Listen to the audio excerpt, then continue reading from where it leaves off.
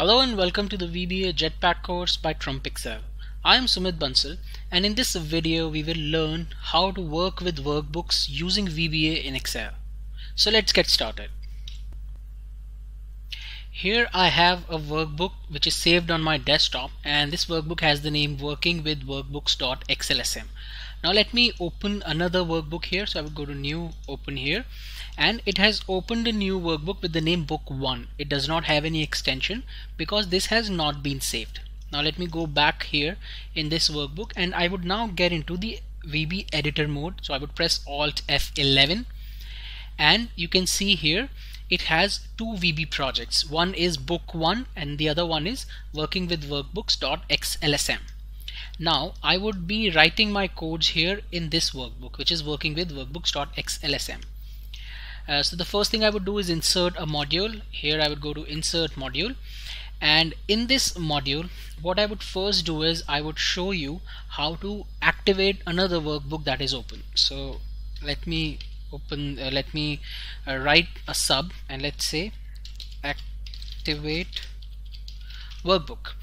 Now in this case I already know this is the workbook the other workbook that is open and to activate it all I need to do is I need to uh, refer to the workbooks collection. And within workbooks I would simply give the name of this workbook. In this case it would be book 1 because the current workbook right now is working with workbooks.xlsm and here I type workbook 1 and that's it. There is no extension because this has not been saved.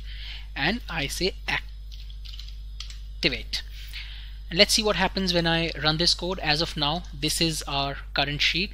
And now when we run this code we switch to book 1 because now that workbook has been activated. If you want you can now switch back to this workbook by writing another code where in this double quotes we would have this uh, string working with workbooks.xlsm so this is how you can activate different workbooks that you're working with. All you need to know is the name of the workbook.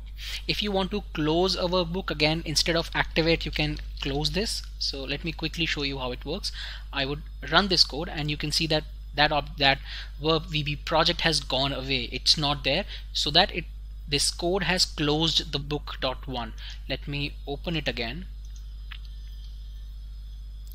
Now in this case there were no changes made. So for example here if I uh, write something uh, say I write my name now there are some changes in this. And if I want to close this it would give me this prompt. Want to save your changes in book 2 and the same thing happens when I close this workbook using VB editor. So in this case let's say I'm trying to close book 2 uh, and I run this code. As soon as I do this it will give me this prompt.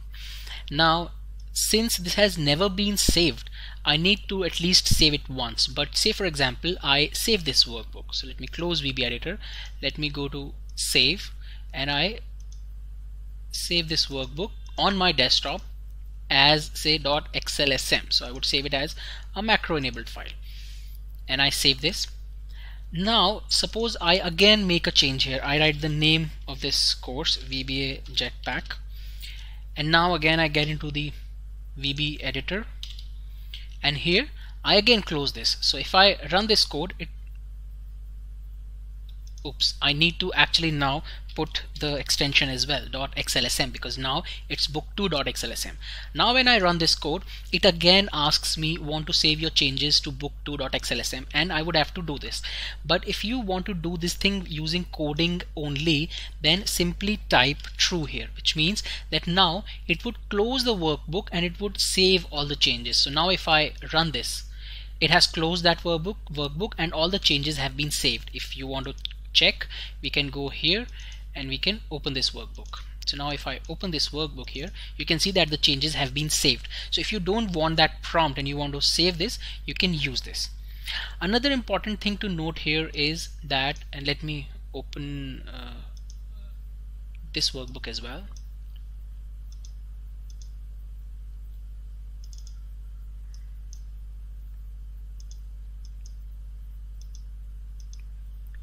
now another important thing that you need to know here is that there is something called as this workbook.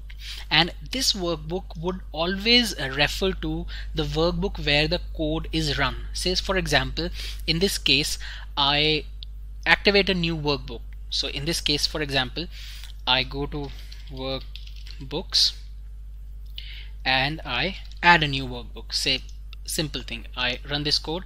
I have a new workbook called book 3 now I activate this workbook. Workbooks.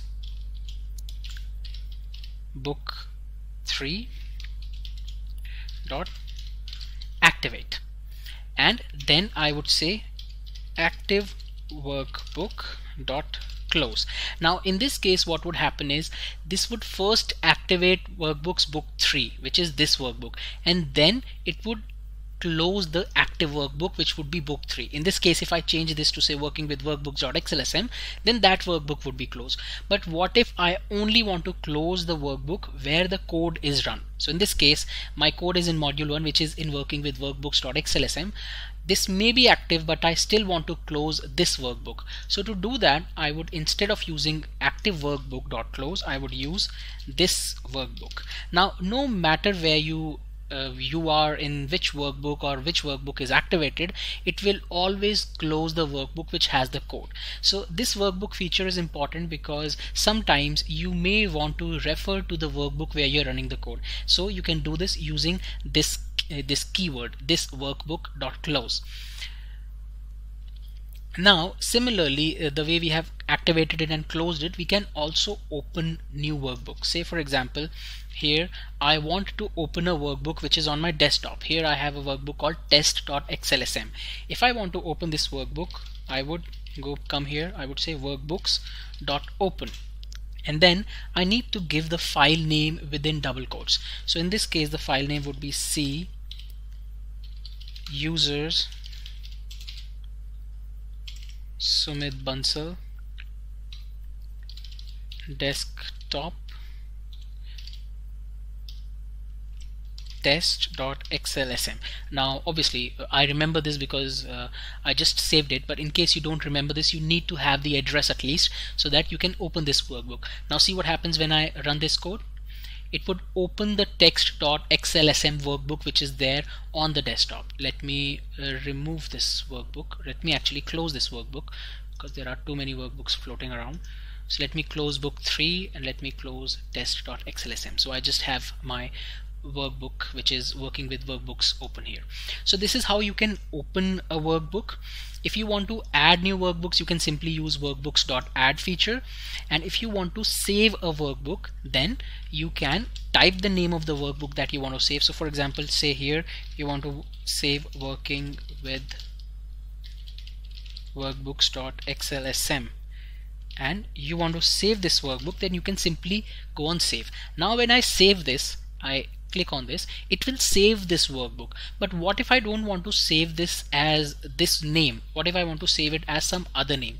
Then I can specify that other name. And here I would have to spec again specify the entire uh, string which would be C slash user Sumit Bansal desktop and the new name. So if you want to save it uh, as it is just as we do control S then you can use save. But if you want to use another file name then you would have to use save as so these are a couple of things that you can do with workbooks. Again if you get stuck anywhere I always recommend go to object browser here within Excel. You can simply type workbooks and when you do this it would give you this class go to workbooks and immediately you would come to know of all the members of this workbook.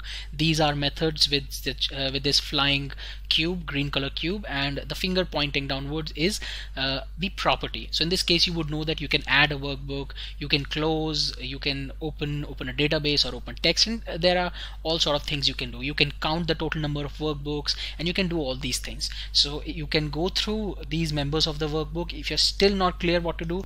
Simply right click and go to help and then it would open the help in the browser. If you have any versions before 2013 then it would be inbuilt so the help would open right away without the internet connection as well. So these are the things that you can do with workbooks in Excel. I hope you found this video useful. Thank you and have a nice day